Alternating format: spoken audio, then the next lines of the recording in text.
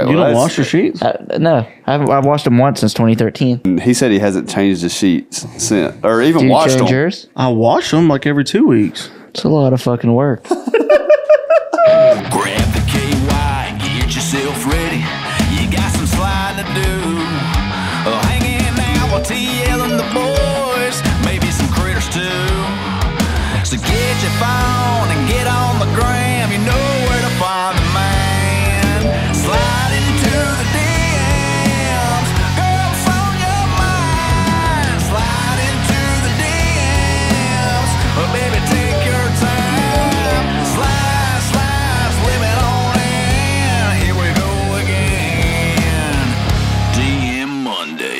Welcome to episode 26 of the DM Monday podcast. We got a cool guest, Bryan Martin, coming on later. But uh, what the fuck is up, boys? What the fuck? What up? Mitch Wallace and Trey Bonner today. And my co-host. We just had a show down in Birmingham. It was badass, wasn't it? Too bad you weren't sick. there, Bonner. Mitch, did you kiss Darby? No, but I did tell Darby that you missed her Dude, and that you were a eligible bachelor. thank God. Damn. Hooking a boy up. She said Bonner's great, but he's not the one for me. I don't think. The I said, fuck? well, I said, well, keep thinking. It was cool to see uh, Darby. We went down Thursday night. Me and Baril did. Friday we were supposed to do a radio interview and it got canceled. So we just went and got my oil changed and took care of some stuff. But uh, Friday night we went out on town and we were we were leaving Tin Roof, walking over to Innisfree. Like Nikki T and all them came down, and uh, we passed Darby and Sarah on the street. Were they course, going dude. fucking Innisfree? And it's free. Innisfree, yeah, They Innisfree. live Head, there, dude. head to the free, baby. and his freaks. And uh, yeah, we had a good time. I Irish goodbye that night. Just went back to the hotel. I do that every night. Yeah. Well, you Irish goodbye after the show. What'd you do? Went home, went to sleep. Buddy. yeah, whatever. That's what I do every time. He went on a solo. he went on a solo critter crawl. So, uh, did you succeed? I went home, went to sleep, man. Dude, one time I went to Innisfree with a, a girl, and then Darby and Sarah were there, and then she ended up, not Darby, but the other girl ended up making out with somebody else. Wasn't a great night. The girl you brought? Yeah, Oh man. not good. Did you make out with Darby? Unfortunately, Have you not. ever kissed Darby? No, Darby, if you're watching this, I want I want to kiss Have you. y'all ever been on a date? No, not yet. Damn. You Have don't- y'all ever texted or anything? Darby? Yeah, is this just all made up in your mind? No, it's real. Uh, well, we'll FaceTime her right now. She'll answer. Maybe. FaceTime her. We need to call yeah. her. Let's see. Let's see if she'll answer. Do it. Do Do it. it. Do it. Dude, All right, wait. What are you gonna do? What are you gonna tell her? I don't know. Tell her that you want to date her? I don't know. You have to say, "Hey, you're on the podcast right now. Would you be interested in Show the going?" don't, e- don't even tell her you're on a podcast. Just Fuck ask her it. out on a date. No, you tell her. It's obvious. You have headphones on. Yeah, that's fair. Let's see what happens. Ask her to go get tacos. Tacos. Yeah, that, I mean, true Nashville fashion. How's this shit work? I got the new iOS. get I don't know how it works. No. You don't know how it works. That Give me the Siri phone. FaceTime. Oh, there it goes. Don't put me on it. Why not? This is your date. Do you have an iPhone 10? I mean, yeah, I just got the new iOS. I had iOS 14, the Steve Jobs prototype for a long time. It's not looking good, fellas. Dude, there's like an iPhone 15 out now. You're so behind. You want to touch it?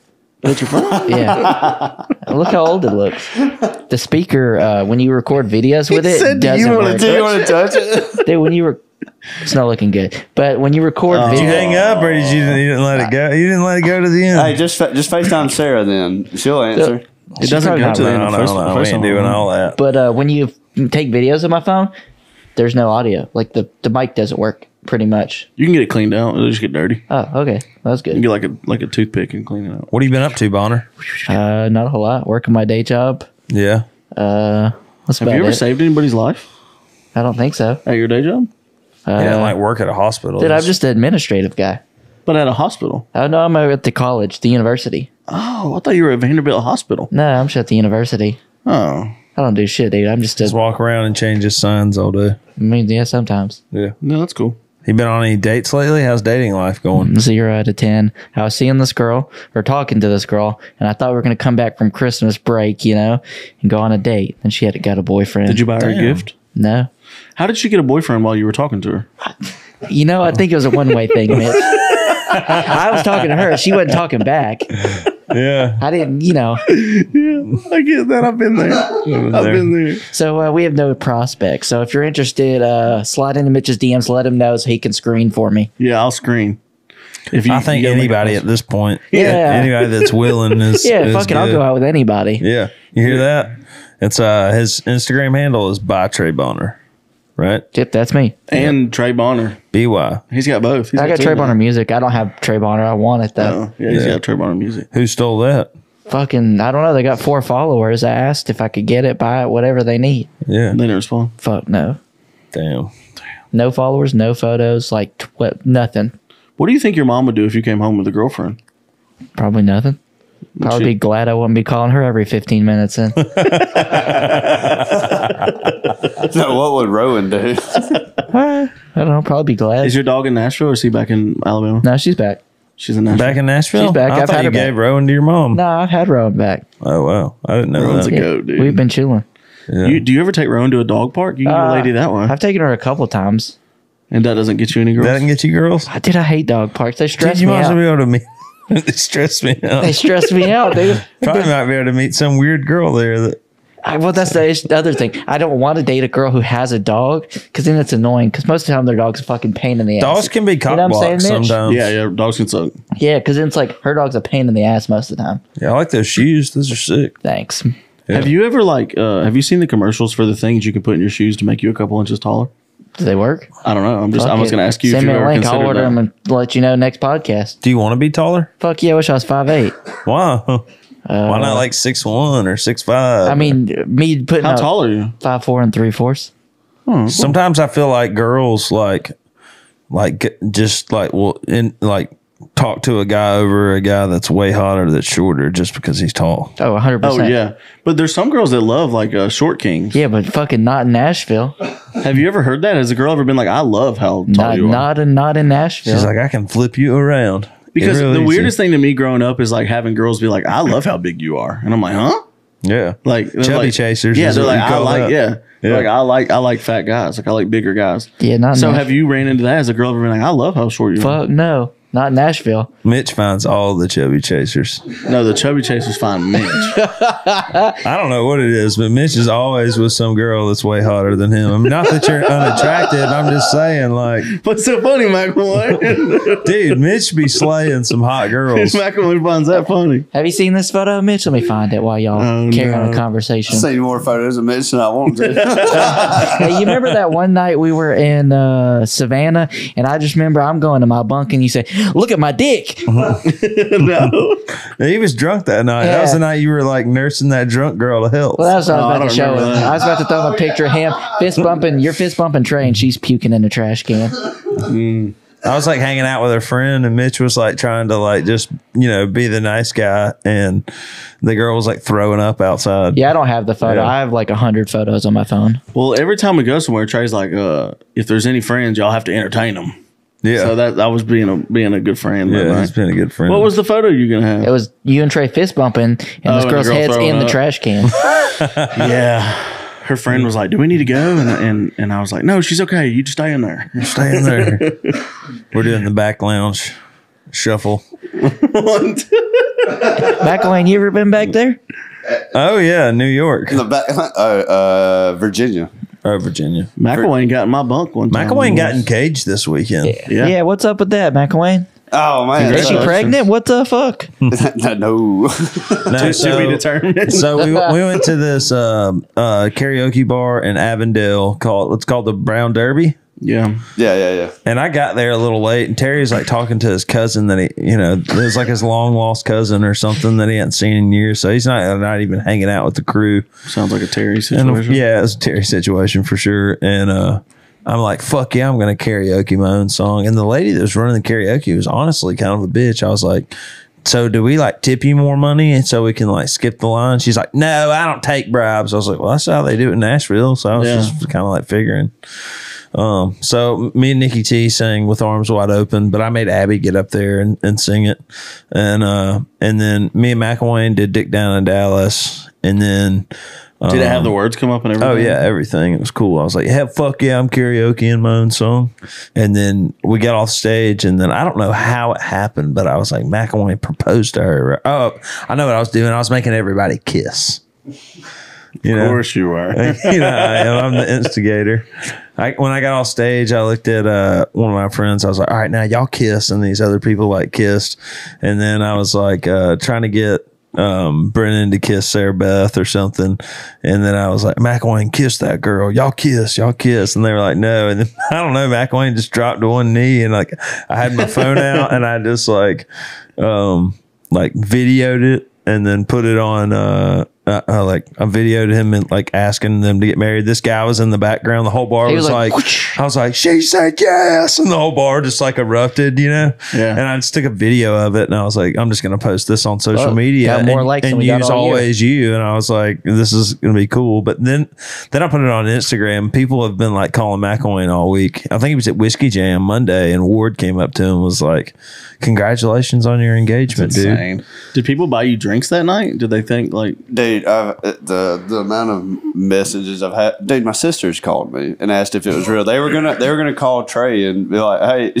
did, did our brother just get engaged? We didn't know he was dating anybody." Hey, this is where you plug your registry if you need some fucking pat pots and pans. Hey, yeah, uh, we'll we'll take about uh, twenty cases of Miller Lite. Um, three handles of Fireball? Some fireball. well, we got plenty of Fireball, I think. Uh, but anyways, so Oh, no. basically, we McIlwain was engaged this afternoon. We made another post on Tik on uh, TikTok and Instagram that his engagement ended, and he's single like a middle finger. So we're Single. we're having fun with it. You know, we're t- we're, we're we're we're using it to promote my music, and then this weekend our plan is is to find a girl in the crowd that's ready to get fake engaged to him and do it on stage and Yeah, film like it. Justin Bieber used to do one less lonely girl, and he'd sing it oh, to Oh her. man, hey, we can get Nick to play that in the background for sure. Either that no, or- it's gonna be always you. Yeah, That's but I it's gotta gonna play be. the song though. It was always No. You. We're gonna That's do what Mitch is doing. Always you. Mitch is playing drums. I'm gonna No, be I like, can't play drums. No, we're gonna we're gonna get Ben up to play for that song. you know? Oh, are we? Yeah, Put in the tracks. And you have to give a girl like a lap dance on stage and then A lap propose. dance. I'm gonna be like Matt, get back there and play drums. We're gonna play this song to your girl, and she's gonna sit right by your drum kit. We're gonna film. Sit the her whole on my thing. lap. Yeah, we'll figure it out. Maybe we just do the uh, engagement. You know what I mean? Yeah, I was just like, I mean, Figure it out, but it'll So- be fun. so Just you- it's all for good. social media. How's your engagement going right now? Is it? it's Oh, over. it's It's over. over. They, they broke up today. it- Trey, Trey announced it today. We're over. It's over. Yeah, I've got some girl already sent. I just, yeah, read I, the message to us, McIlwain. oh, should, we got should I a new read it? DM. Yeah, The tree DM Monday right here. Let's find it. Uh, Yeah. I got some messages I can read too. I got one. Farron, Farron Rachel's one of our guests. You know Farron. She sent us. I did Uh, content for her today. She's yeah, great. She sent me a DM too. I figured it was worth reading That she got. that she got. Yeah. Oh Lord. Th- This girl said, "Hi, darling. I heard you and your lady broke up, and I'm sorry to hear that. But dot dot dot. If you need to lick, I mean tits to comfort, I mean a shoulder to cry on, I got you. She I like. like uh, the approach. Yeah. I, like Yeah, that. I mean, yes, I mean it came out of nowhere. I What was you like, got for damn, us, Mitch? I mean, would Let you me, lick it? uh, let me find them. would I? He's licked worse. Yeah. I mean, I didn't on, know a, that. on one of those, yeah, like long fireball nights. Yeah, of course. Easy- easily. Easily. Cool. I didn't know you could send people messages on TikTok. Um, Yeah, they got to be following you. I think. I just get a bu- so I had a, a, a TikTok go viral recently oh, nice. of me sitting in a plane. Um, I I was coming. I was coming back from Canada, and I sat next to this little lady, this old lady, and she was fucking losing her mind the whole time trying to get a flight attendant. and then finally, the flight attendant got back there, and she's like, "Yes," and she was like, "Can I move so I don't have to sit next to a big guy?" And like the flight Is she attendant, Asian? yeah, and the flight attendant looked at me, and I was like, "I don't know what to tell you. I'm big, like." Fuck, I'm in my lane though. You know what I'm saying? Yeah. Like I'm not all over the fucking edge, Yeah. big. Sucking and tucking. But you're not. You're not that big. Like you're Yeah, not. so- like, she gets moved and and I'm like, cool. Anyways, I, I made I made a video of it and I posted it on TikTok and it it blew up, but I got like three thousand comments on the video saying like I would sit on your lap if I was on the plane. like all types of shit. Dude. Let's go. It's crazy. Chubby dude. Chasers. But like a lot of it has like came over to uh, Instagram like requests. Do people really think that you got engaged. I just had a guy text me, Corey Daly. He's like, dude, I'm trying not to laugh at McIlwain's engagement ending, but it's funny. I was like, yeah, he's never he was never engaged. It's a joke. yeah. I mean, we, we just saw Priscilla earlier today, and she she completely thought that was real. Yeah. I don't even know which ones to read, dude. That's just a bunch of random like I'd sit next to you, I'd sit on your lap. Farron sent me this one, this guy that sent sent it to her. It says, uh, Did you flip a switch because you're turning me on? Damn. Send that to somebody right now, Bonner. I don't have I anybody to send it to. Find somebody and send it. I Send it to Well, well, Darby. Farron- she'll she'll call you right back. Farron said, "I bet he's 55, five, living in his mom's basement, or he's some asshole in Iraq wanting to scam me." Hey, at least he's saving on his rent living with his mom. Yeah, true. Send that to, to send that to someone right now. Fuck, And- I'll send it to Darby. Well, Darby she didn't said, "I pretty much feel that way about uh, every man that slides in the DMs. I don't know if I like that, what that says about me or not." I said, "Yeah, it's kind of like asking a woman if like she has lost weight. You know what I mean? It's not really a good compliment." Or like being like, "Are you pregnant?" Yeah, dude. nope, just fat. Yeah, dude. You, you can't ever ask a woman if she's if she's pregnant, uh-uh. even if she is pregnant as fuck. Like you can't ask. You know, you got to let it come up. Have you casual. done it? Uh, I think so. Yeah. I have. I've done that before, and been they'd be like, "No, not pregnant." What, why are you asking? I'm like, "Never mind, gotta go." Never mind. Gotta go. Never talk to me again. Well, I guess I'll go fuck myself. Dude, I hate when you say something to somebody like try to make like a really like slight joke, Yeah. and like. And they're like, yeah, well, my dad killed himself three years ago, so it's not funny. And you're like, damn, dude. Damn. Damn. You just ruined my joke. Um, what else is going on? Uh, Y'all going to Colorado? yeah, we're going to Colorado. Mitch, you coming to Colorado? Yeah, because we're going snowboarding. Are we? Yeah. After or what? Uh, I don't know. I talked to Cape about it, and I said, if we go to Colorado, we have to snowboard. And he was like, great idea. Stay, go snowboarding, and then come back that week. That Yeah. could be cool. It's Grizzly Rose, right? yeah. Yeah. Yeah. I've never snowboarded in my life. Me either. So I was like, I want to do that. We don't Damn, have anything do on that. that. We don't have anything on that Saturday. Well, you better save your coins up there, McIlwain. Yeah, yeah, I heard it. Murphy goes out there all the time. It's, it's. Well, we don't have to do it the Murphy way. You know, Yeah, we don't- Murphy kind of Murphy has it, so he can do it. Yeah. Um, when is that, dude? I'm this- stoked. this- 16th, 17th. Yeah, we're gonna miss Ella's Opry debut. I know. Yeah, that it sucks. sucks. She's gonna hate me. Hooray! forever. Hooray! Hooray! Just um, kidding. No. I'm I'm back on my diet. I got off during Christmas. I gained five. I gained five pounds. That's not a lot, though. Yeah, no, I didn't. I didn't do too bad. I fluctuate five pounds every day. yeah. What do you weigh yourself in the morning, and then at night you're like, "Fuck, I ate like a fat ass today." Well, I'll just like lose five pounds in my sleep. Just yeah, just sweating. yeah, just just breathing. I guess. Are you, I can feel this bacon coming out of my pores. are you still playing World of Warcraft? No, dude, I haven't played World of Warcraft in a long time. I miss it, but What are you playing? uh, nothing right now. But your what happened to your computer? Something got fried, right? yeah, my hard drive, my, Fuck happened. my solid state drive, actually. Too much Fucking weird. Justin just too went much in- weird porn. Dude, it could have been Justin. You know, It went into the fucking. Justin doesn't know how to use anything with technology. So um, one time, Justin doesn't know how to use a thermostat. I mean, I don't either. I fucking change my Dude, shit he'll once set a year. the temp to like ninety It or something. he set it on on 84 one day, and I walked upstairs and like it was fucking hot. like a toaster. And I was like, "What's going on, dude?" And I looked; it was 84, and I knocked on his door. I said, "Hey, man, did you did you turn the heat on?" He's like, "Yeah, I was cold." I was like, "Why don't you just turn it to like I don't know 70?" Seventy one. Yeah, something. And he was like, "Oh, uh, I don't really know how it works, man. I'm sorry." And I was like, "Dude, it's hot as fuck." up They just here." went in there with a fucking blowtorch to your computer. Yeah, I mean, dude, he could have. You know, there's there's really no telling. He doesn't know how to turn the computer Dude, on. when I lived at the halfway house, we weren't allowed to uh, t- to have the thermostat um, below seventy one or above seventy three. That's ridiculous. What's your like threshold? If you you go, you ask a girl like, "Hey, what do you keep your thermostat on? What are you hoping for?" 68. 68. Yep. Uh, 68. 69. 69. Fuck, McIlwain. McWayne's favorite number. I'm 68, dude. It needs to be 68. In the summer, like let's get that bitch's. co- Let's be able to hang meat in there. you know? yeah. In the summer, dude, I'll help pay the But power in the bill winter, I'll just turn it off. Yeah, so and open a window. Yeah. Yeah. Crack a window. That's in the that move. thing. Mine's set on 62 right now, heat, so that it never turns on. Yeah. damn. Yeah. So you what- can always just put a hoodie on and lounge. Yeah. For sure. For sure.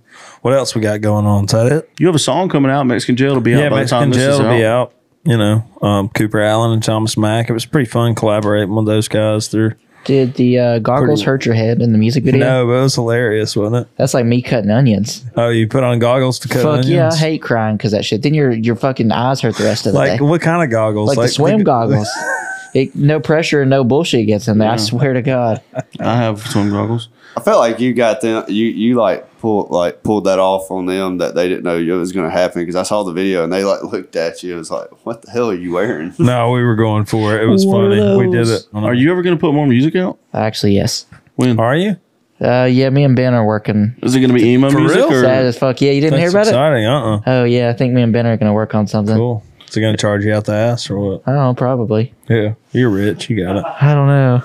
Between your normal job and my job, should Yeah. be doing pretty good. you're rich as fuck? Damn, not rich like Mitch. Hey, we, we still need to update. Have you washed your not like- sheets? No, fuck no, McIlwain. I bought new sheets. oh, you bought. Okay, You well, don't that's- wash your sheets? Uh, no, I haven't, I've washed them once since 2013. Well, uh, he just bought some new ones. So I bought them. that's I, I haven't put them on, but I a- have Oh, 'em. you had put them on. What? The, Wait a second. What? You didn't know about this? no, you have the same set of sheets from 2013. we've been doing the we've been doing this DM Monday podcast for what uh, probably nine months now, and and he said he hasn't changed the sheets since, or even Do you washed change them. yours? I wash them like every two weeks. It's a lot of fucking work. you wash your pillowcase? Fuck no, dude. I brought that bitch to Bonnaroo and still hadn't washed it. Your pillowcase you don't take off and wash. No, I brought it to Bonnaroo and didn't wash it. Dude, that's disgusting. Do you shower? Wednesdays and Sundays, yeah. Really? I mean, and if I like go out, Do you yeah. still shave your pi- your uh, yeah, on privates Wednesdays. pretty regularly? Yeah, on Wednesdays. Nice. No. He, So he where? stays groomed, but he don't. It, like he- he'll come on the road with us and Bonner, we'll it's shower the entire disgusting. time. You got to start washing Yeah, I your don't. sheets, I don't dude. shower a whole lot on the road. You shower Wednesday and Sunday? That's it? I shower like if I go out and do stuff, but most time I'm just sitting at the house. Damn. Do you not feel gross? I shower. mm, I don't know. I mean, I guess I don't know. What if you jerky jerky on yourself? That's what the toilet's for. No, I don't know. Are you aiming to the toilet? No, That stand over the toilet and beat off. I don't know. serial killer. I don't know. See, fucked All right, up. here's a real question: Have y'all ever jerked off at work before? No, well, we work on the roads. It's What's like- considered work? I mean, yeah. Everybody, I mean, like when you had a normal job. Like if you ever had an office job, did you ever just go into the bathroom, newspaper McIlwain. and jerk it, Man, I kill had time? like a- I have. I've jerked off. I jerked off at Bradford mm, plenty of times. I never did. I mean, I've obviously thought about it, but I hope my mom Have you ever- watching this. have you 'cause ever it- jerked off while driving? Oh Yeah. yeah, Yes. Who Yeah, hasn't? everybody's done that. I haven't, dude. You haven't? You gotta try it. It's fun. Dude, when I That was sounds dangerous. It's no, it's a That's whole what new you do on the way experience. home. though. I, so I've only been. Have you ever been caught jerking off before? No, unfortunately not. I don't. mm, I don't, know. I got caught So- jerking off once by. I used to work with this guy at Hardee's, and he came over to my house and just walked in the door, and I was just straight, beat, just gunning myself down. He just came to your house and your door was unlocked. You worked right? at Hardee's? yeah, I worked at Hardee's. this is bef- this is uh before I got sober, you know, Yeah. before Christ, you know. Um, but anyways, Hey, do you remember how hard it was to jerk off drunk?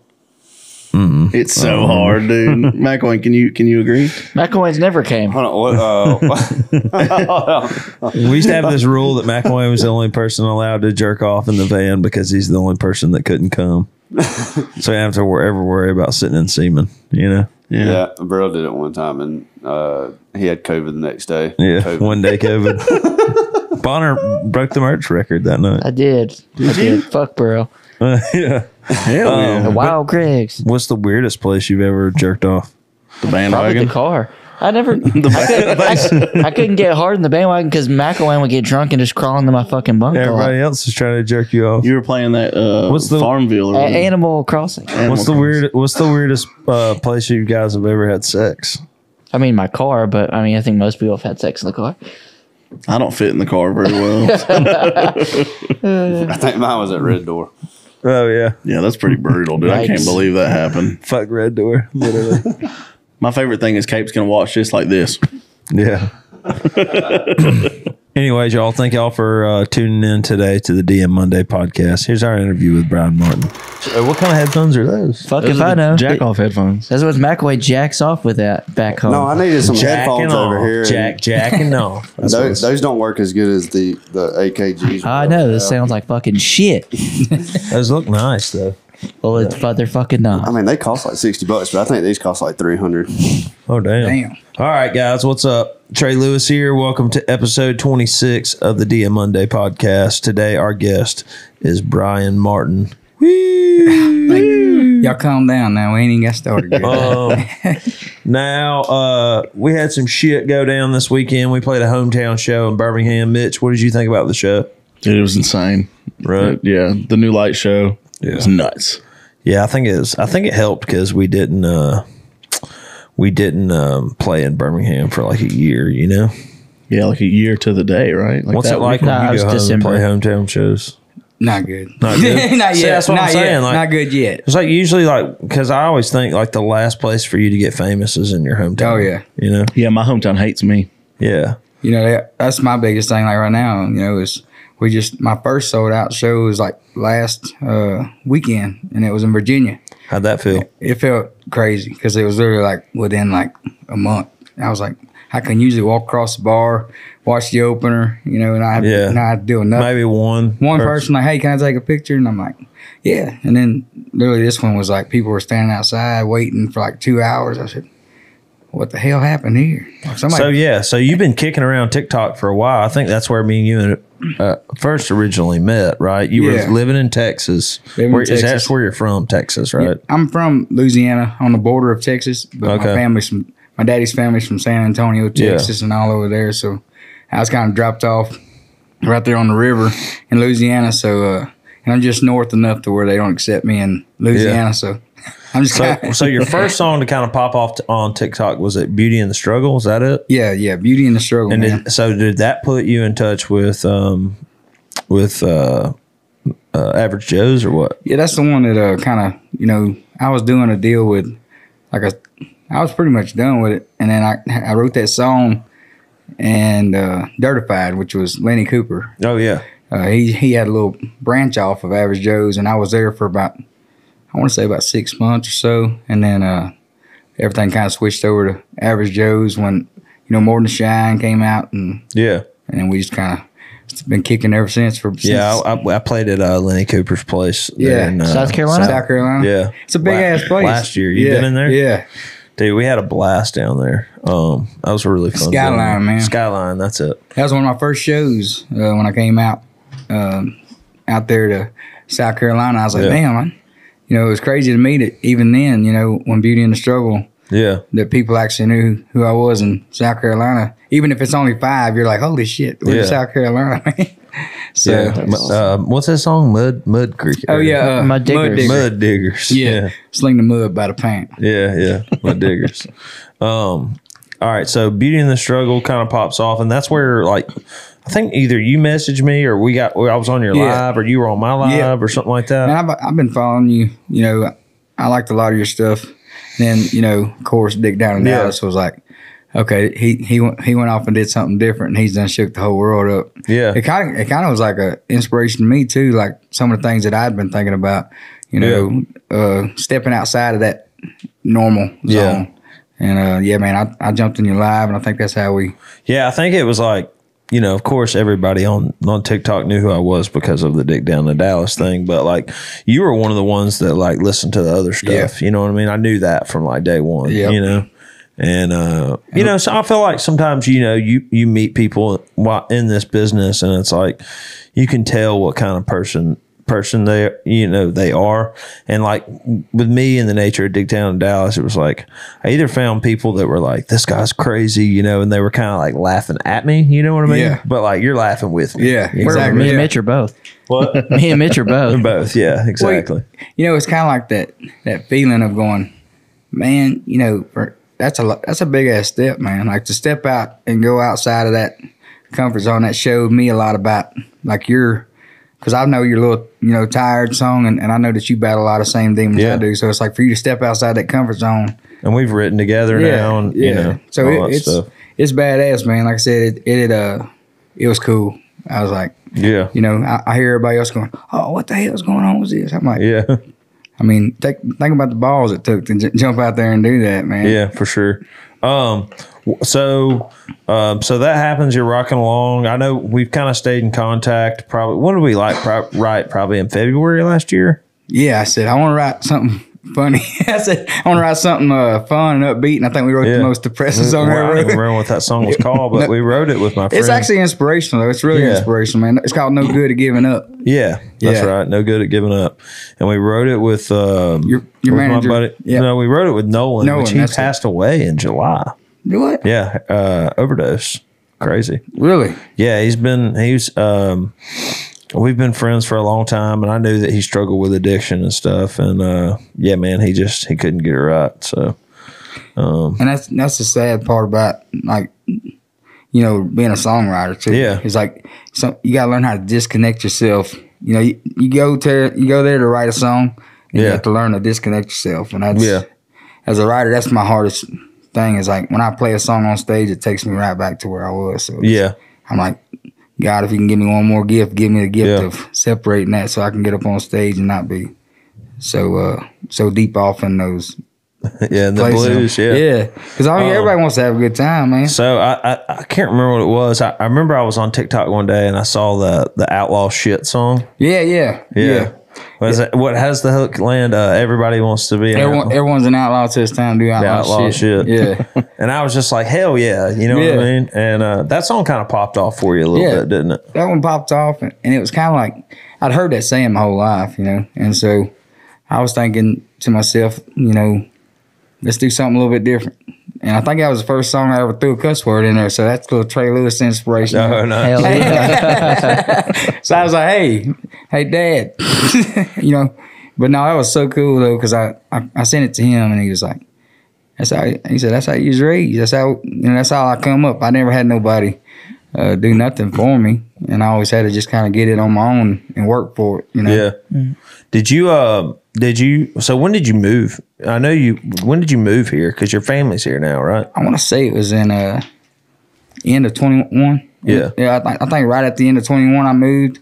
Uh, did the deal with Average Joe's, and then I was like, "Hey, man, you know, I got to get my family up here too." So after my pub deal went through, I just said, "I moved them up here. We got a place outside of town." Yeah. and uh, because I like to be out there in the middle of nowhere, just to kind of have that feeling of freedom, you know. Yeah, I can't decide like what I want to do like if I want to buy a house in town or if I want to be out like you know, the act, the natural redneck in me is like, yeah, let's move out of town. But you know, Yeah. I think like once I get out there, I'm not going to want to drive down here to work. you know what I mean? Well, I, I've always kind of like been up, you know, if I had to get up early an hour, Yeah, you know, it actually helped me because uh, I would get up an hour and a half because I'm I run late anyway, and uh, so I like to be out there. You know, I'm about, if I buy a place, I'm thinking about buying one with some acreage and get the baby some horses and stuff like that. You know, Oh yeah, yeah, that'd be cool. keep it uh, keep it like it was back home.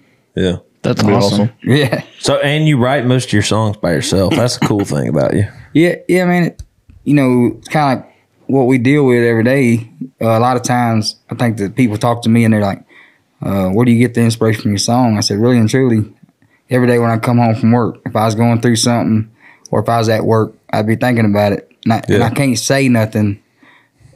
I'm not a good speaker. So it's like Yeah. if I had something I really needed to say, I, it all come out in a, a song. song, And I didn't know how to. I don't know music. I don't know nothing about what chords I'm playing or anything. All I know is that it it resonates with me, and that, Yeah. that's that's the key I'm singing in. So Yeah, That's awesome.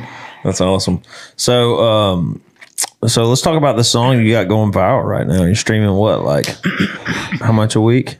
man, you know, like I said, last week it, it doubled again. It was already at the big, the highest streaming I ever Yeah. had. It was like just on Spotify, it was like hundred thousand streams a day, and then Yeah. it doubled to like two hundred thousand streams a day.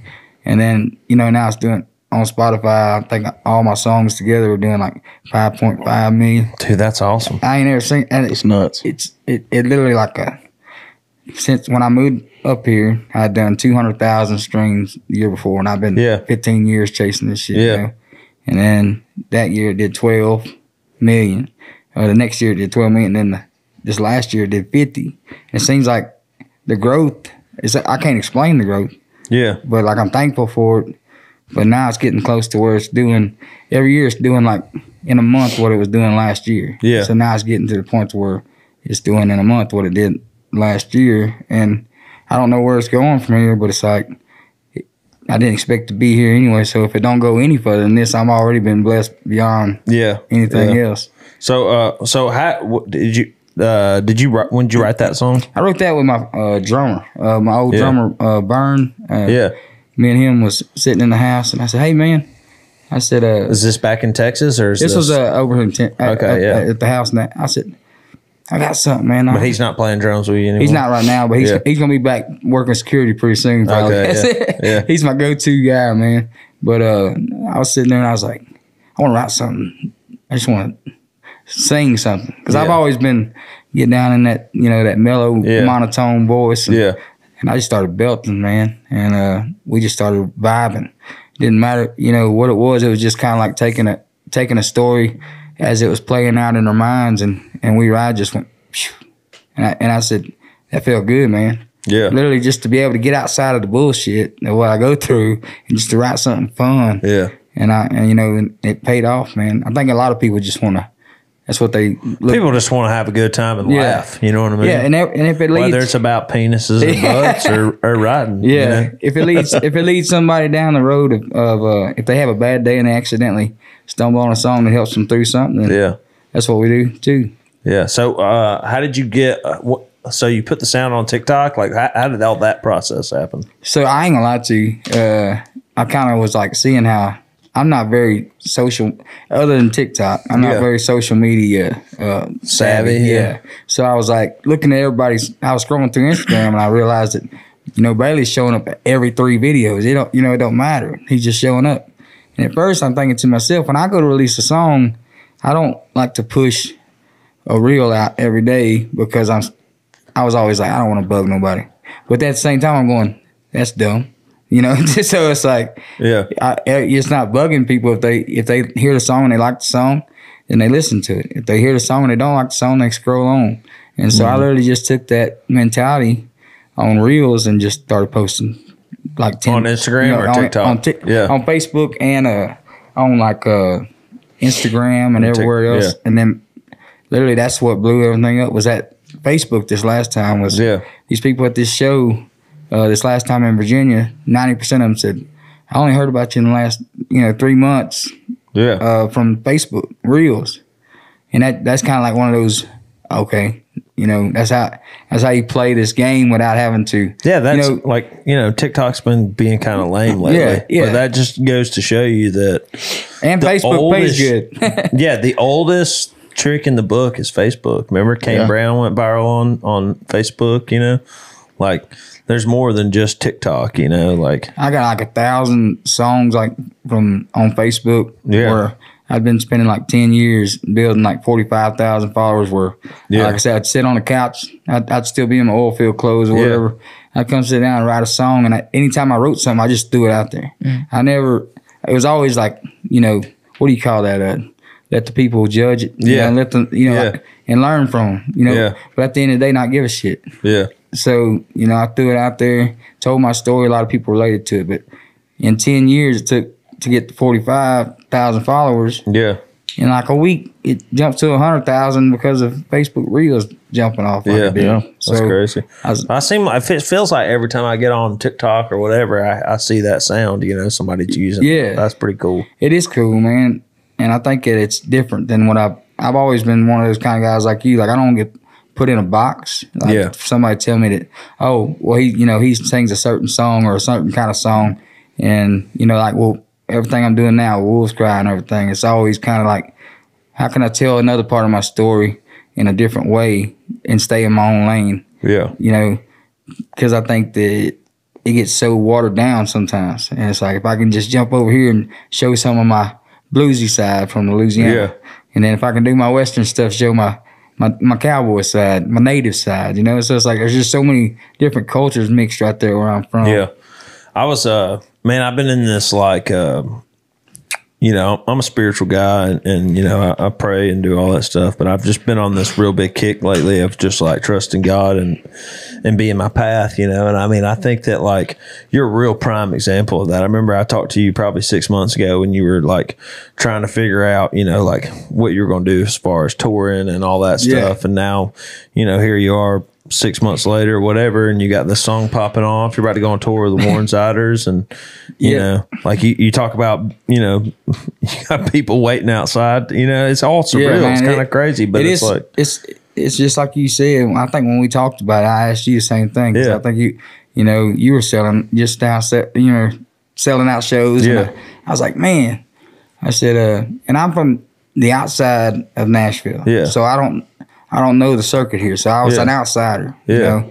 So like I ran the Texas circuit. I Yeah. ran you know for years in Texas and only had a few shows in Louisiana, but I ran that circuit and I was kind of scared or, intimidated, Yeah. more or less, of coming up here because, you know, you get up here and there's so many people. The guy who brings you anything is is a doing the same thing you're doing, mm-hmm. and it's like, how do I get up here and like try to be, you know, I've never co-wrote Yeah. with anybody. So, you know, it was intimidating, but me and you had that talk, and I just kind of realized that, hey, if I can, I did just did my first co-write with uh, Scott Sean White and uh, Oh, nice. Helene, and we're putting it out. And then that guy Cameron Havens that was there today, yeah I did my first outside cut that I didn't have nothing to do with. I'm, Awesome. I just put it on hold. So How's that feel? Does that feel weird for you? It's weird, but at the same time, I realized that Helen We- uh, Cronin, right? yeah, yeah, I feel I feel like I came here and I wanted to be a writer. Yeah. You know, because the artist thing is great. and I'm doing great things with the artist thing, but I'm always going to be the writer. Yeah. So when I came here and I met the writers and I saw how, you know, they have to live day to day just hustling. Like Yeah. I mean, it's literally like next next sausage egg and cheese biscuit hustling. Like, Yeah, you know what I mean? So I said, hey, if if I'm winning, I want all of us to win. So and if there's some a good song is a good song, whether I was on it or not. Yeah. And you know, to do an outside cut, it's not a pride thing for me because now I realize that you know sometimes I just ain't got the time. I write for a whole bunch of people, and then I go home and I can't write shit for myself. I can Yeah. write a million songs for And somebody it's else. like, you know, I mean, you've already proved to yourself that you have the ability to write the write songs. You know what I mean? But it's like there's a million songwriters here in town that do this shit for a living. So I mean, if like you hear a song that strikes a nerve with you and you feel like it would be a good message and your fans would like it, then why not? If it's you know not only going to change songwriters' lives, it's going to change that person's Yeah. life. Then you know might as well. yeah, now that that's it. that song hit me too, man, because he sent me a couple of them. One of them was really really deep too. It's called "Hold the Truth." Yeah, And I was like, I like that one too. But, you know, with me going into sobriety and doing all this, I said, this one's the one that's really resonating with me. It's called My Demons Don't Sleep. yeah, And it's because, you know, the whole time I was drinking, I was putting that stuff away. I was kind of like, okay, I can get drunk enough to f- forget it for a second. And then, you know, it just comes back 10 times harder tomorrow. yeah. But yeah, My Demons Don't Sleep song, I think it was him and Casey Tyndall and uh can't remember who the other writer was, but just hit me. What uh what made you want to um what made you want to quit drinking? What's the story behind that? I mean, we all have that. yeah. You know. Well, I, I I know you got in a car wreck. We don't got to talk about yeah, it. yeah, yeah. No, no, to. no, it's fine. I mean, that's that's one of the reasons why I wanted to quit drinking because, well, I mean, I quit for six years at one time. Yeah. And then I went through some stuff like uh relationship with my wife. We've been together 15 years and we were split up for about a year and uh and I just kind of went down this rabbit hole of uh you know, I was the one who walked away, but she's the one who moved on. Yeah. And so like that came up in a writing session one day too. I was like, you know, we're leaving, you left me Yeah. you know.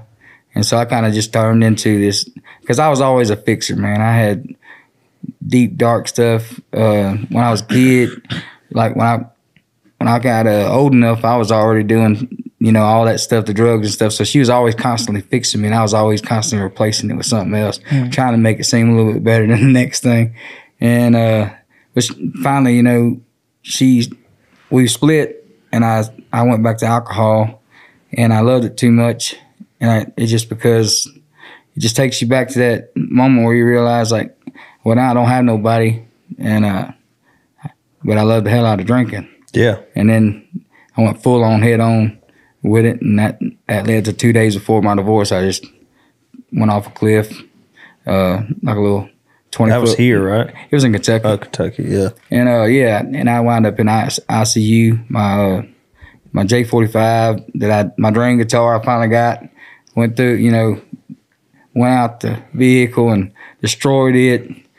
I was more worried about the uh, guitar when I woke up than I was Yeah. myself. But yeah, it was rough, man. I walked ten miles back to the nearest town, and I only had a, only had a combine pass me over in Kentucky, and I went over and gotten uh, got uh, everything kind of clicked to me that I wasn't nothing without my family, Yeah. My babies. You know, I I had that get up and go every time I had to get up and go to work Yeah. for them, but without them, I was like, I'm worthless. Yeah. You know, and that's when I wrote Beauty and the Struggle, and that's when I came back home and we made everything right, and she forgave me, and uh, I really couldn't find nothing that she ever needed forgiving for. Yeah. so, so I was like, Yeah. that's what fucked me up. Yeah.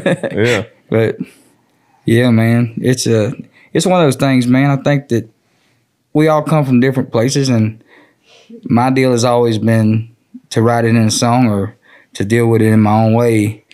But like I said, there's times when I just kind of think to myself, "You probably could have got away with not doing that," you know? Yeah. Yeah. Yeah. And it's always self learning, like like learning. Let's not do that. learning how to do things by doing them wrong. Yeah. you know. Somebody tell you you can't do way. something, man. Like that's my biggest thing. Somebody tells me I can't, like in in the oil field, you know, they say I bet you can't fix that thing, you know, or I bet you can't do this, and I bet you can't do that. Yeah. I'm like shit, I'll take about ten scars, but I'll do it. Yeah. You know, What was Bryan Martin as like as a kid?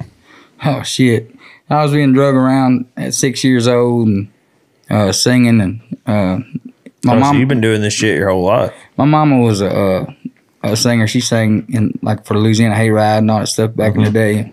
Uh, David Houston, Faron Young, and all them. So I sang from six till I was thirteen. I got burned out and I went to riding bulls and and doing Oh, rodeo nice. and uh, but yeah, all that time from six to thirteen, I was like stuck in a a room with a karaoke machine trying to learn a song for a festival, and I'm like, I hate this. I just want to get out of this room.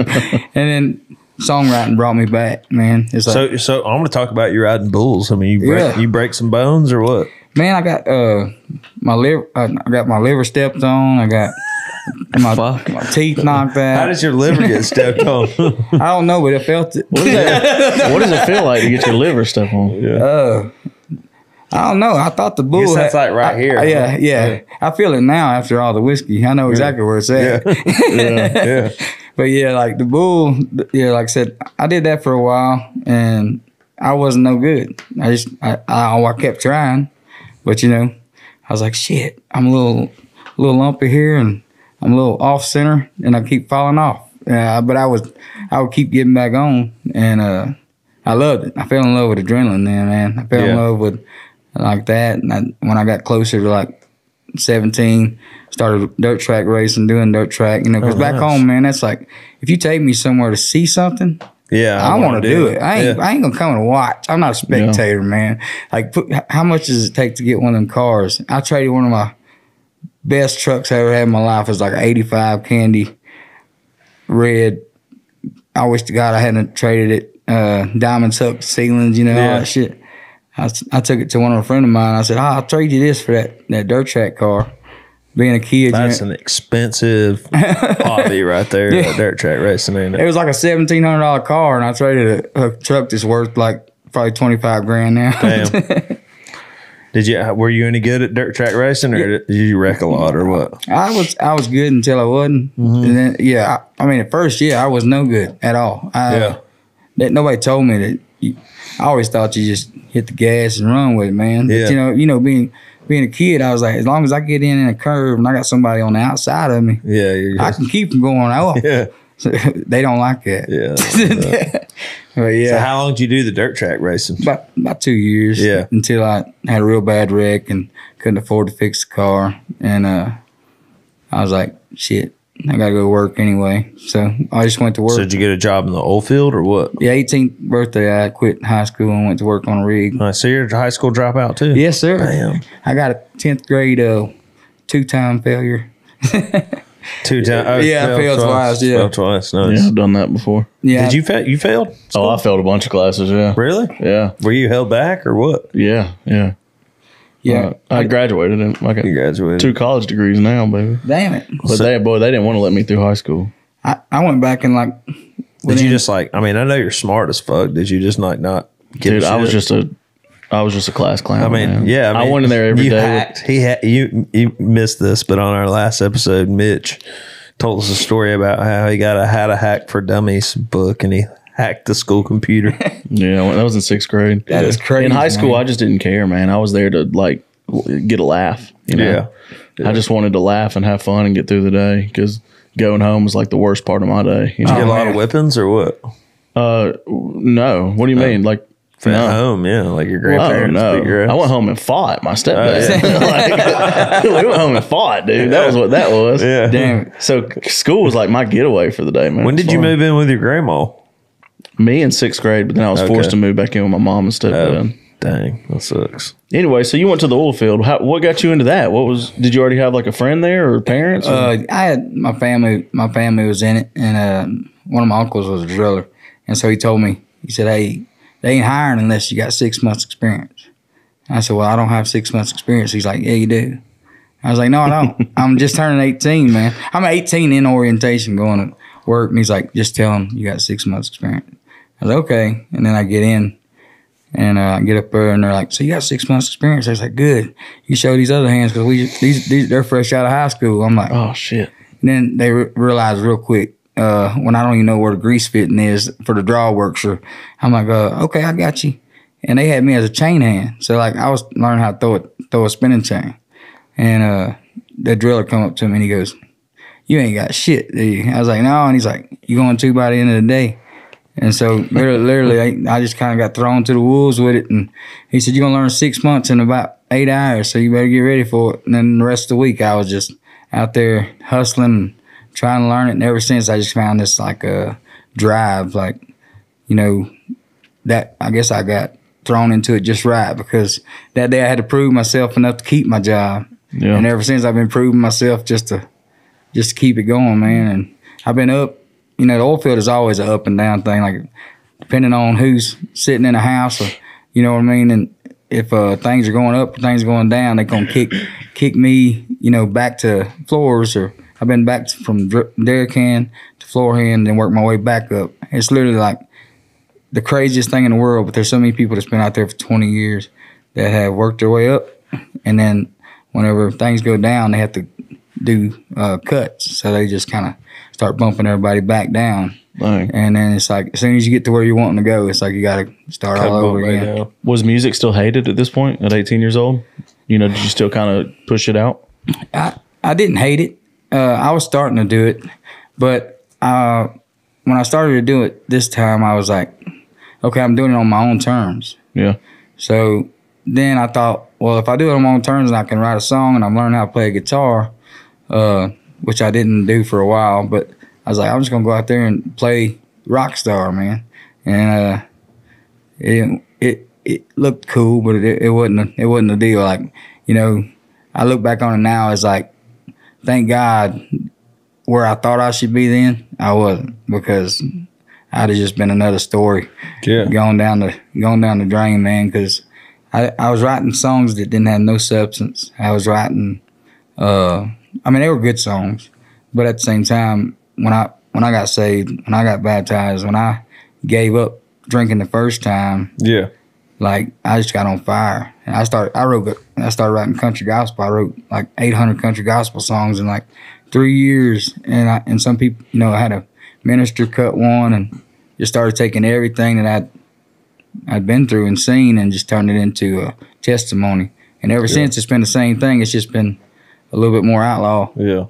How old were you when that started? When you got saved? That was uh tw- 21.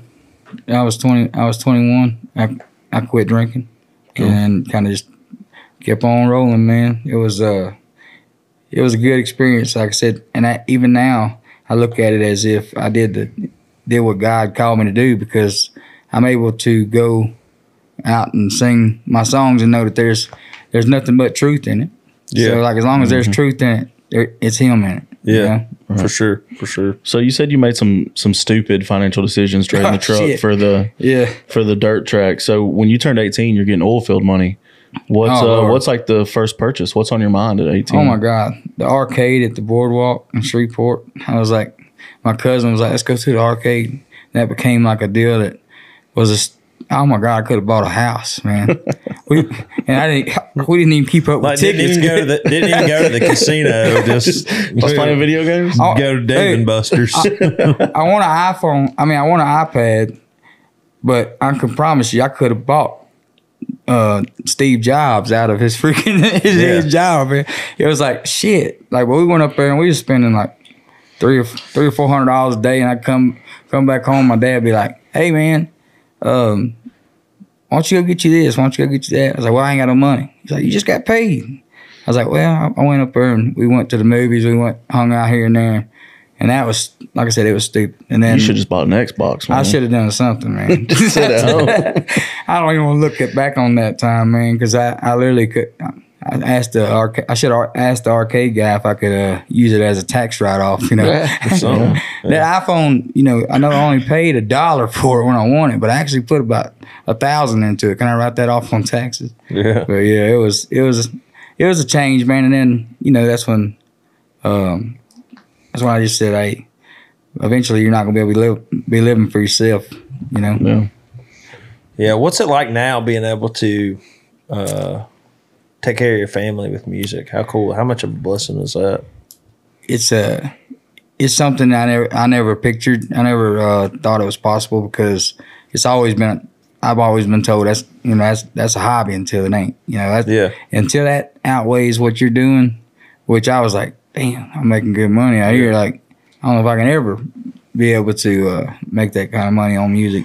And I put so much money into it, and it's like, but at the end of every year after I have babies, if I had an income tax come in and there was uh I had just enough money to go record a song, I'd go cut it. Yeah. But twelve years, twelve songs, you know, it's like I just kept putting one out, and I just kind of kept building like that. But I wasn't gonna take uh, food out of my baby's mouth to go. But I would go get me a guitar if I could get me one, and you know, I did every now and then. I did like every couple of years, I'd do something for myself to Yeah. kind of improve myself on my music. But it was a slow process. If I'd have been uh, single or without kids, you know, I, and I'd have got on fire for music and not on fire for arcades, I would have Yeah. been a lot further along. Like, but Yeah. I wouldn't have had a story I have. Yeah, I mean, you've owned your, you know, you've owned, you know, where you're at, and you know, taking care of your family, and you've, you know, it's all worked out the way it's supposed Oh, yeah. to. You know, that's a cool thing. Yeah, man, and it's it's it's cool to me to be able to come into this town and have an outside perspective, you know, and kind of have still that same uh, storyteller um, mentality, but trying to learn how to, uh, you know, still fit in in a way. I guess you say because it's like sometimes I do feel like I'm still the outsider, but at the same time, what's wrong with being the outsider? You know, so it's like every now and then you need something a little different, like a dick down in Dallas. Yeah, something, yeah, something. Uh, so, do you have any like, um, uh, do you have any plans to like put out an album soon, or you know, you got this tour starting? I've got a uh, I got Wolves Cry coming out, which is going to be it's going to be a part of, Okay. of the new EP. Uh, Nice. We ain't sure if it's going to be EP or album yet because we keep having songs come in, you know. But uh, it's going to be called Poets and Old Souls, Nice. and uh, Frank Foster, yeah, he jumped on that song with me. oh, badass. Yeah, he, he hit me up, man. We had a history too, man. It was like ten years ago. I remember him seeing me, and I I was I was working uh, on the rigs. I looked up to him because like we both from the patch, man, yeah, and we're having a conversation. And he said, you know, he's just giving that bullshit, you know, that roughneck talk. He's like, hey man, you know, he's like, you ain't ready for this. I was like. I, I know, man. You know, at that time, you're wanting to say I am. You know, I'm, I'm wanting to say, yeah, I'm ready. But he's like, you know, you're a great songwriter though. And so I kind of took that as a grain of salt and I kept moving though. I listened to everything he put out. I still, you know, thought to myself, every day I was swinging a, sw- a sledgehammer or, or pulling back pipe, I was listening to Frank Foster and Yeah. thinking, hey man, somebody made it out of here. you yeah. know? It's he used to work on the yeah. fields, right? used to work in the, on the rigs and, uh, and so that's how I did it, man. I just started putting my shit out there and writing the same. It was almost like I was writing the same song, yeah, but just finding a different, finding way a to say it. different way to say it. Yeah. Yeah. Because all I was doing was missing my babies. I mean, Yeah. at that point in time, I done got so consumed with just like, man, you know, all that time I thought that uh I'd never get homesick. Yeah, Here I am homesick thinking about my babies and then trying to figure out how later on down the road I'm going to uh, tell them like, your daddy had to go to work. I can't stay at home and make, make that kind of money. Yeah. And that's when I wrote Oilfield Dad and Yeah. you know, that kind of took off and everybody in the oil field from then on was like, "Why ain't you out there in Nashville? Why ain't you on on the Voice?" I hated hearing that, man. I got, I was like, should try out for the Voice." You should go on American You- Idol. I have ten times. "Yeah." I didn't get. I didn't make the I cut. didn't, I didn't either. And Did you my- ever try out for it? I tried one time. My brother was going. My little brother uh, wanted to go, and I went up there, and they let me get like maybe a half a second into a George Jones song, and it's like, "You're done." Okay, thank Yeah, you. dude. Uh, so my, I, when, like, I went with "Fuck my you, man." when me and my manager Alex first started working together, we went down to Miami, and I, I walked into the studio. It was hot as fuck. I was in jeans. I sang like part of Red Dirt Road, and and they were like, "All right, you're good." And I was like, "Well, fuck me." I just Yeah. flew all the way down here Yeah, I for nothing. So. Stood in a line that wrapped around the whole city of Atlanta. But dude, it's like how many people we know that were on those shows and that you know their careers. yeah. They don't even have a career. No. There's- nobody's even heard of them. You know, well, I think that's the even whole- people that win, it's like, Yeah, oh, he was on Idol. It's like, oh, that's cool. The But, success like, stories are the people that didn't make it on there. Yeah. those Yeah. are the fun ones. Yeah, it's yeah. it's like a flash pan thing. You Like think Dalton Dover was on that show, Really, I didn't know but that. like, you know, he's Yeah. had to make his noise on his own. Yeah, you know?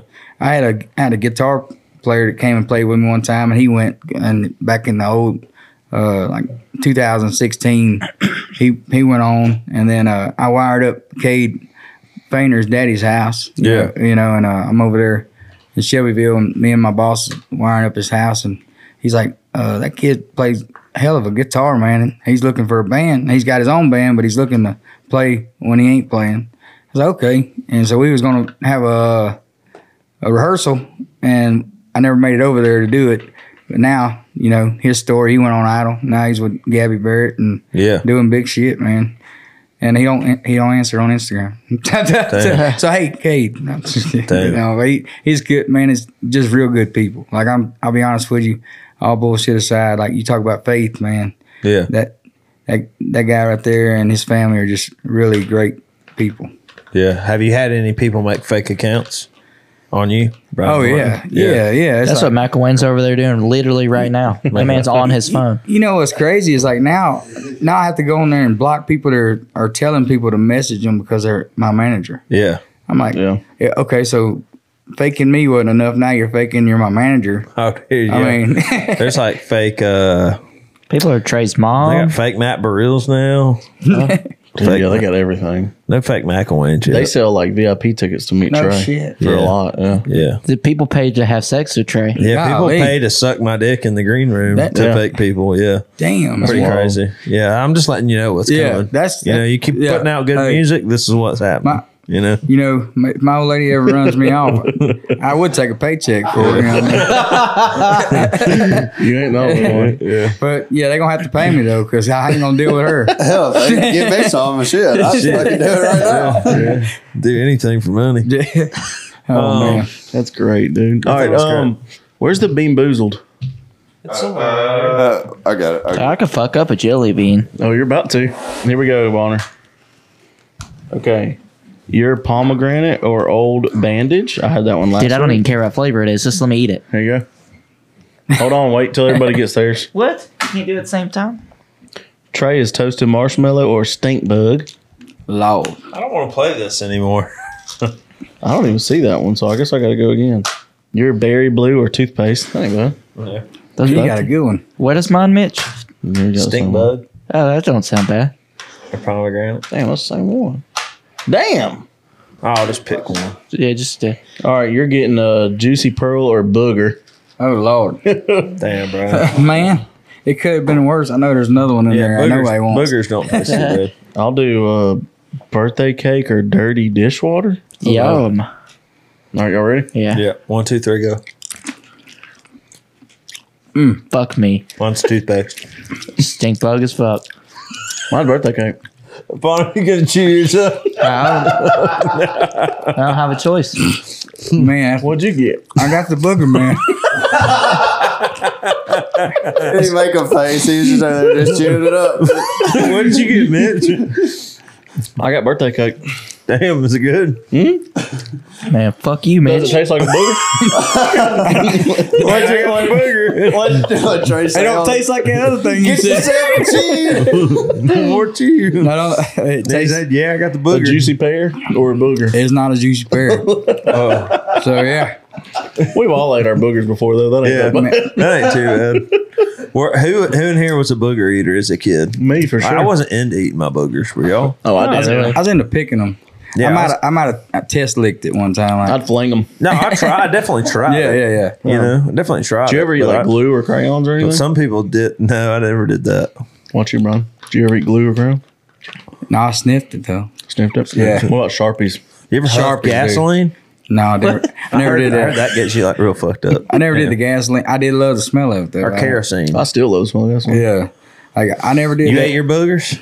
Oh, yeah, when I was little, yeah. I bet Mitt. I mean, I bet McIlwain ate boogers. I mean, Still look at me, does. dude. I'd eat anything. Yeah, we, we, we had this kid. I didn't miss a meal when I We was had a this kid. kid in high school, oh, not high school, but middle school. Me and my brother called him Booger Nose because he just always had boogers. Hey, McIlwain, you got any gum or something over there? Yeah, yeah. All right, so so you're on the oil field. Are you, you're playing music while you're working, like maybe after work. Yeah, after work, like we're all just drinking a beer, Yeah. sitting around location, and you know bullshit. Are and- people telling you that you suck at this point? Are they telling you you're good? Or they or Wait. what's what's the review review of you at this point? so like best you know, Brad one of those bad boys. I, I think it started out as be all I would night. I would kind of like uh, I'd be writing something, and I've always been like kind of go off to my own corner, Yeah, you know. And so they would say, "Hey man, you know, we heard you writing something. Let's let us hear it." And I was like, "Ah," that was kind of like my testing the waters, and I uh, I'd sing them something, and he's like, "Man, you gotta do something with that. Like nobody writes about this shit. Like nobody talks about what we go through out here." And it just kind of turned into that. Like I would just anything we go through. I'm talking about like, you know, from one job uh, to the next. Like anything we was going through, I would just write it, and it was like a journal through songs that I just they liked it, so I just started putting it out to the world, and the rest of the oil field liked it. And next thing I know, that's that's really my demographic for a long time pretty was the oil field. So that's cool. And it did a so- lot for you too, right? You Yeah. struggle with with like depression and stuff like Yeah, that. So it was kind of like it was it was definitely one of those therapeutic. it was therapeutic to kind of keep my head on straight uh, and not go off and do some crazy shit because it's easy to do that out there too. I mean, oil field towns are about like Nashville, you know. They're- You know, they know that you're out there in a man camp for months at a time, sometimes year at a time, you know, and you're not at home, so you go anywhere and it's like all they want, all they want, you know, there's women everywhere just like, hey, you know, you you go pull up into a coffee shop and they're in underwear. Like Yeah. that's you know, Yeah. so it's like That's dangerous. I was like, ah, I, I think I'm just gonna go sit on a tailgate and Yeah. keep my shit together and uh and keep my family together, and that's what I did, man. I just turned it all into songs and you know thought about them most of the time, and Did you ever think that music would get you out of the oil field? When did or when did that become reality? it was So- always the drive. I think that that's the biggest thing. Was like it was a drive, but at the same time, the reality of showing up and doing what I was doing, whether or not I made it out of the oil field with the music, I was gonna make it out of the oil field by either you know advancing my career in the, mm-hmm. in the oil field or whatever. It, it didn't matter. Like I love my music, but I didn't have the money to go throw into music and do what I could do at work because I'm getting paid to show up and uh, try to outwork the next guy, and also like the guy behind me. You know, if I wanted to learn the next guy's job, I knew that I had to have that guy at a certain level to where, okay, I'm gonna leave here and go learn what this dude's doing because he wants to learn what the next guy's going. Because you can't just leave a guy that don't know what Yeah. he's doing on a rig and something Yeah. blow up, man. Because I mean, every- that's the that's the biggest thing I faced a lot was like the uh, that that constant. Uh, you know, it's always dangerous. I've seen people very badly. You know, I've killed and injured out there. You know, so it's like I didn't. I always wanted to leave with the people that was around me and make sure that they left the way they came in for their family. And so, if I ever taught somebody who was behind me, or if that somebody who ever taught me that was ahead of me, they always said, "You're gonna do it the way that I was taught to do it, thoroughly to the point." And that's kind of been my thing ever since with songwriting. Is like I just want to learn. I want to learn something new every day about how I can uh, keep this craft going, this this uh, storytelling to so to so it's uh, back in the authentic days when really and truly, if you was going through something, you just sit down and wrote it, and it didn't matter how freaking ugly it was or how uh, cliche it was. You know, sometimes it's like I feel like I write some shit that I just want to. I want to write something that's uh, not about uh, having dark things, and Yeah. but I've learned to do that. It, it, in the beginning, I didn't know how to. Yeah, it was break- more of a therapeutic thing. Yeah. And now it's like, how do I Yeah, I- continue this thing? And, you know, I feel good. So I fuck how do I make Yeah. people feel good too? You know? Es- especially like with on stage, man. You just don't want. They came to have a good time, and like everyone's an outlaw, and all these songs that I got now upbeat. I'm there for those songs. I'm there for those. Yeah, you don't want to suck the energy yeah, out of the room. yeah, I think we have one slow song in our set now. Yeah, Yeah. I think mine. T- when I first got here, I was like, I had Beauty in the Struggle, and I had all these other sad songs. And Morning Shine came out, and I wrote about the bull riding days, and I wrote about this, that, and the other. But uh, that upbeat energy, it is really like that's another healing that I didn't know. Yeah. So like getting out there on stage and seeing those people that came to see you and they're singing your songs back to you, it just takes you back to like thinking, damn man, like they on you know, I I know these guys that busted their ass to pay for these tickets to get here. Yeah. Every day they're doing the same thing that I've been doing all these years. You know, it may not be music that they're dreaming of, but they're dreaming of getting away or, Yeah. or getting up in the world too. So sure. you're kind of they're all looking at you. They want they want to know how somebody looks like them that wears the same scars as them. And it, it's up there on that stage, and And they're happy and yeah, thriving. hell yeah, it's great, man. Um, when does uh when's your EP coming out? EP, we're, we're shooting for fall. And you got a single coming out before then? Do you know when that one's dropping? That 27th? 27th, Twenty seventh. January 27th. January twenty seventh. I don't know if this episode this episode won't be out by then, will it? I didn't know it Yeah, today. it's is. not a big. Well, anyways, go fucking listen to Yeah, it. Jan- That's what we're It getting was at here. yeah. And uh, and I really appreciate you coming on the episode today, dude. I appreciate you really too, do. man. I want to get another Uh, another uh, writing session in. I know yeah, we got yeah, some we'll good do ones it. up. We'll in do us. it. We'll do it. Um, and then uh, where can everybody find you on everything?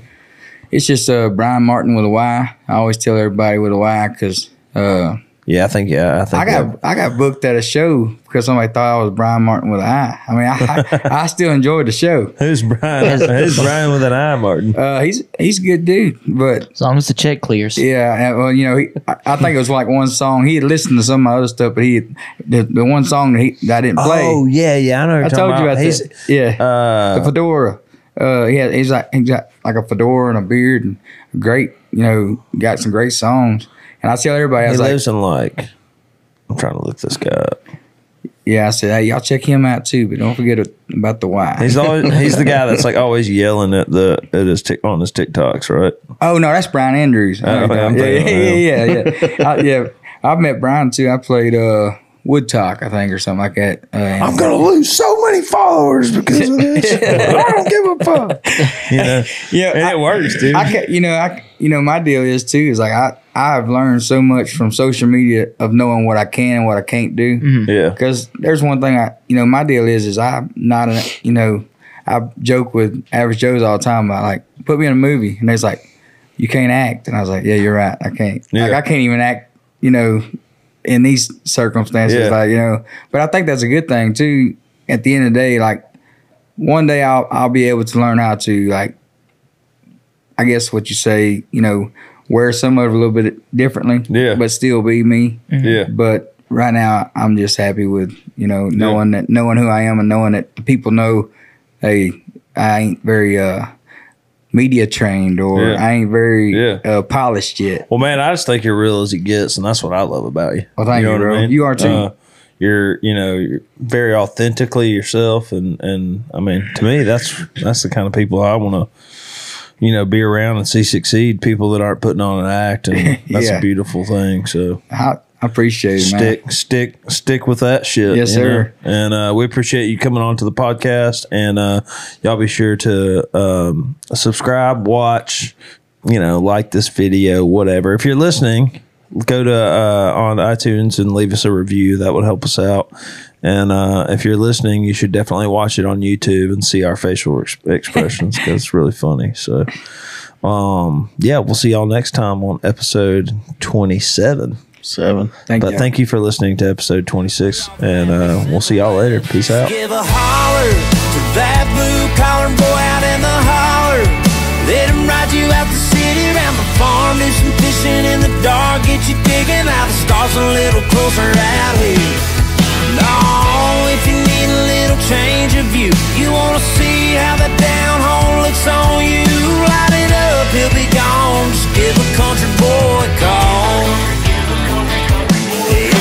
Wanna see what you hear in them country songs. Wanna watch a harvest moon hang all night long. If you wanna stick them high risers in the rear view, he's got a cross hanging from the middle one. All you gotta do, just give a holler to that blue collar boy out in the holler.